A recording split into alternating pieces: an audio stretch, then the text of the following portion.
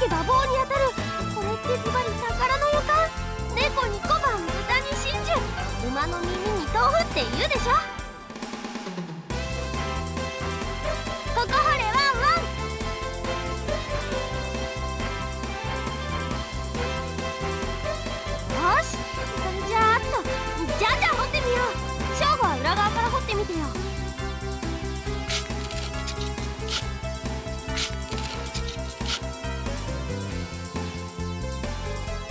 ラジルあたりじゃない？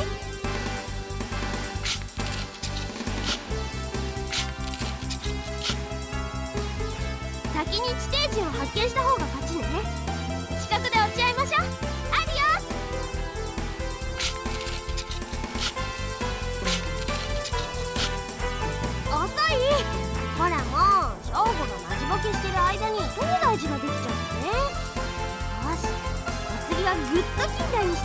Nope.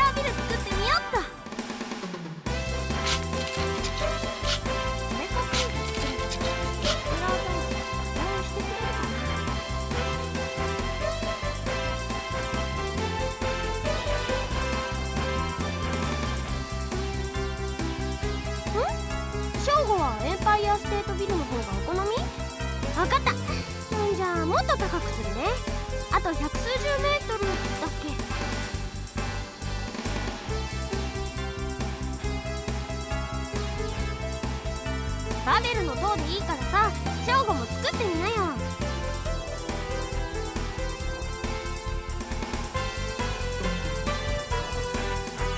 できる。君ならできる。教えてあげるからやってごらん。はい座って。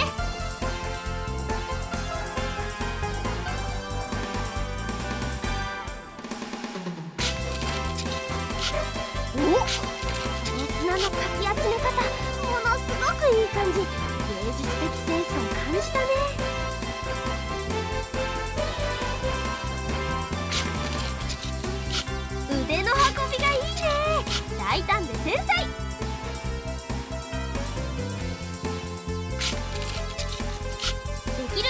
くした方がいいよ。その方が仕上げの時が感動的だから。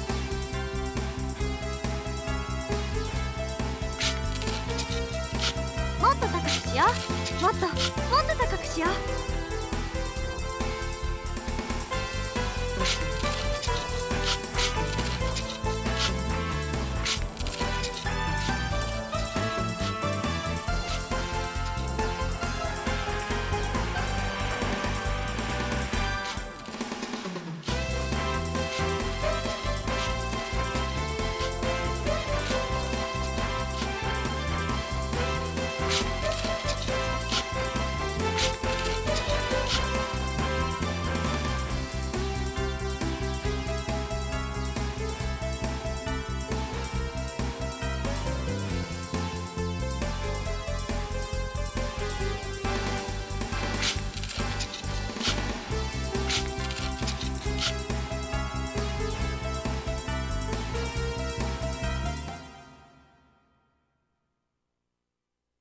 しょうちゃんあのね砂ってすごい小さいけどねいつかおっきく強くなるからそういう意味だって。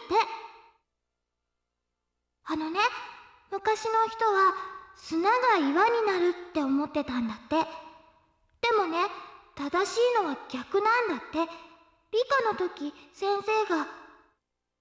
でもねそういうのは嘘とか本当とかとは違うってお父さんが言ったよ。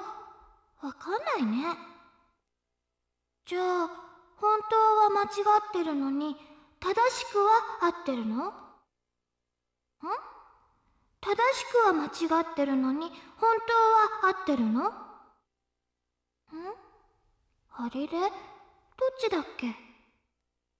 しょうちゃん今落としたかもよ。静かにしないと聞こえないよ。新しく始まる音。一緒に聞こうね。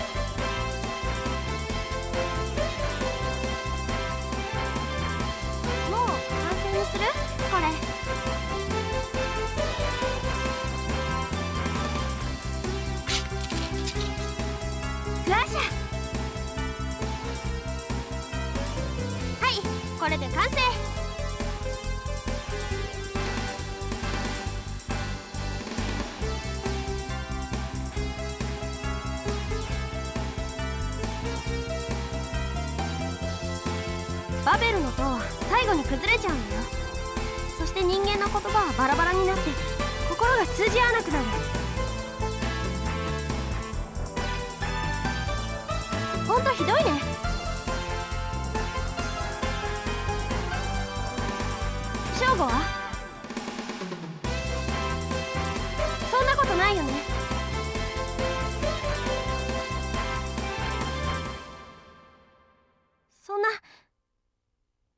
ことしないよね。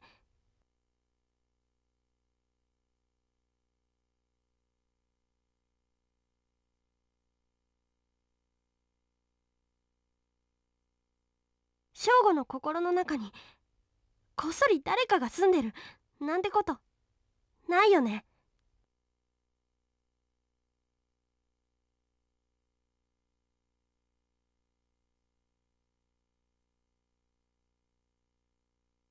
公園の女の子って。そんなのただの思い出話だよね。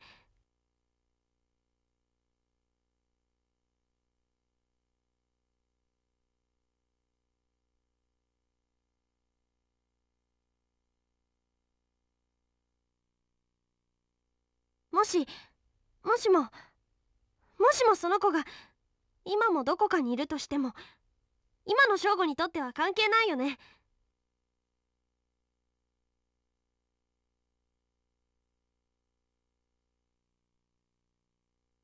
本当に？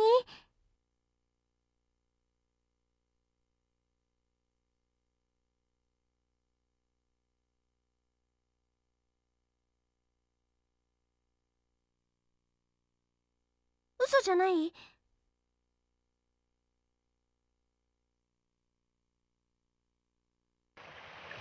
ゃあ約束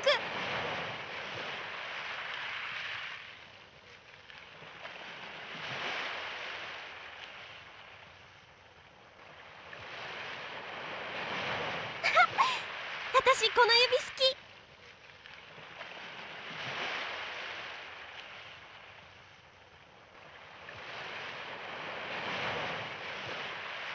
でもこの指よりその持ち主の方がもっともっと大好き。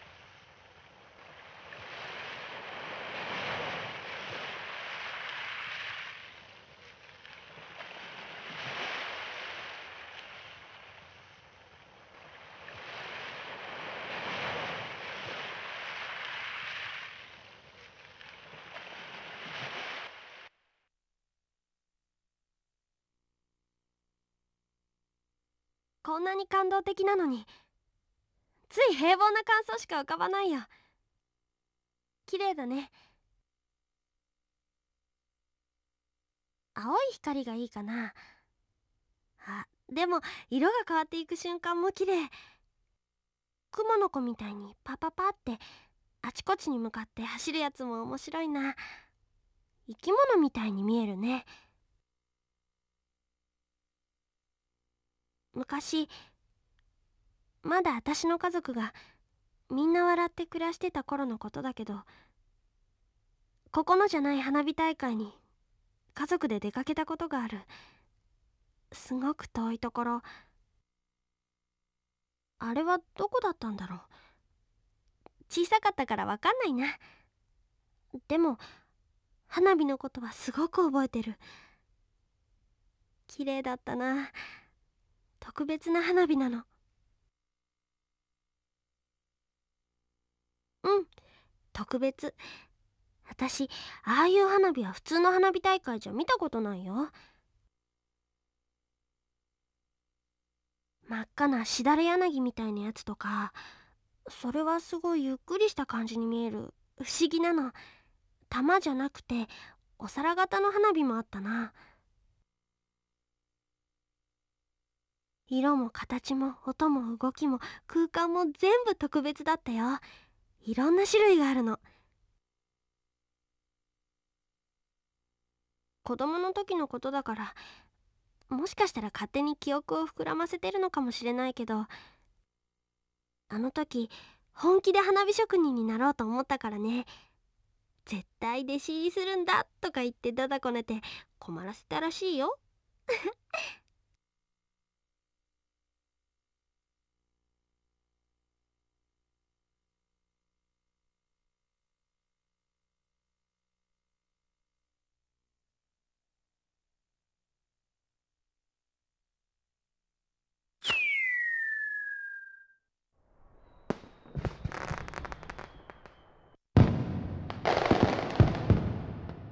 正吾は何になりたかったの？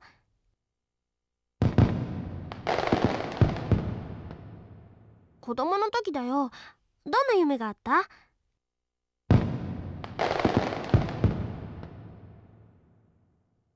忘れちゃったの？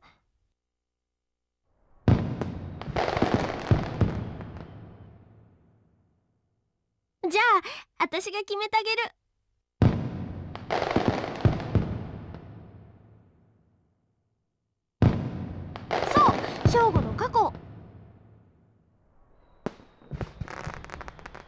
いいの。私が決めるの。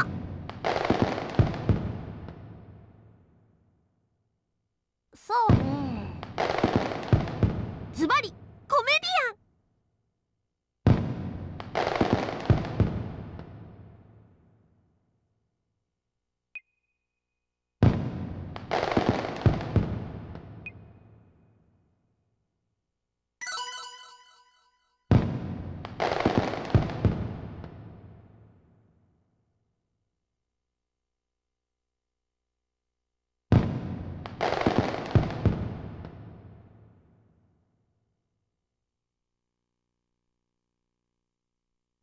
といさこの夢はねお嫁さん。だから翔ちゃんの夢は旦那様だよね。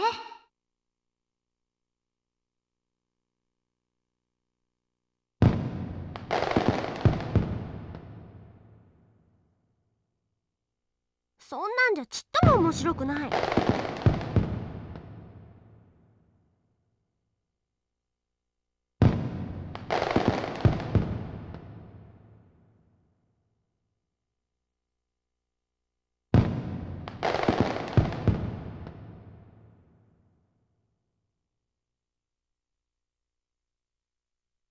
マシンに乗れたらいつに行く？過去？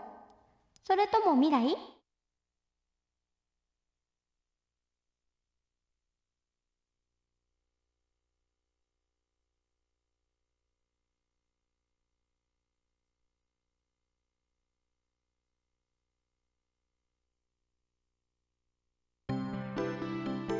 少年追いやすく学なりがたし。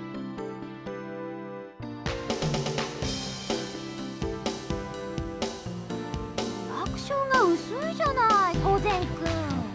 若手芸人は賑やかし要員なんだから自分の役割を果たしなさい。仕事こそはよ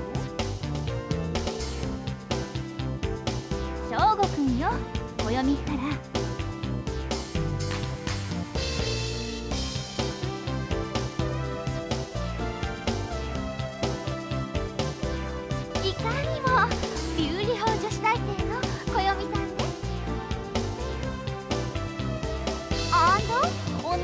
は魔女としずるです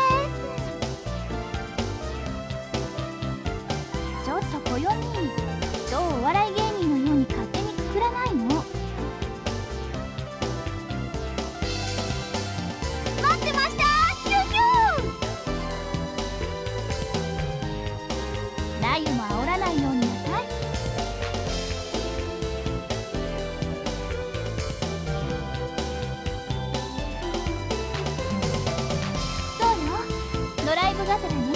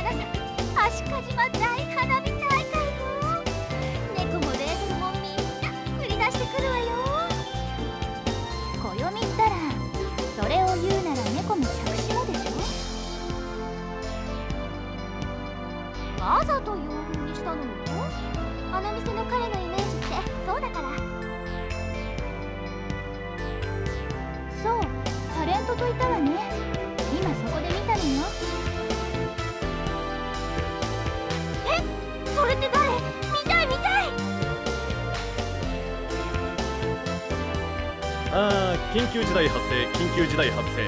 バイオハザード。例の感染保菌動物を屋外にて発見。速やかに処置する。イエスサ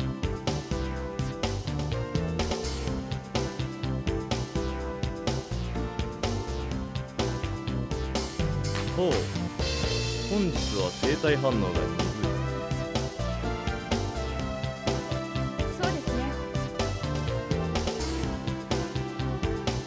ネクローシス。もはや時間の問題だ。このまま自然界の摂理に委ねよう。そうですね。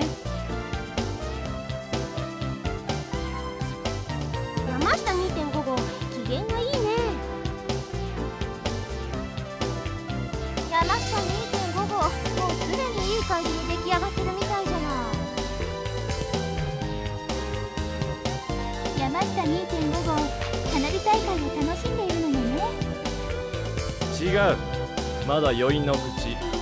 楽しいのはこれからだ。これだから女どもはいちいち説明がくどくてかなわんな。というわけであるからささない。街で楽しいことをしよう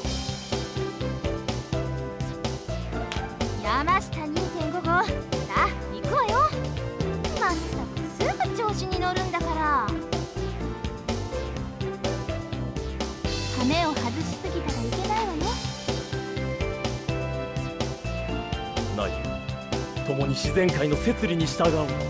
永遠に続いていくこの神羅万象の一部となってその未来に我々の遺伝子を伝えてみないか。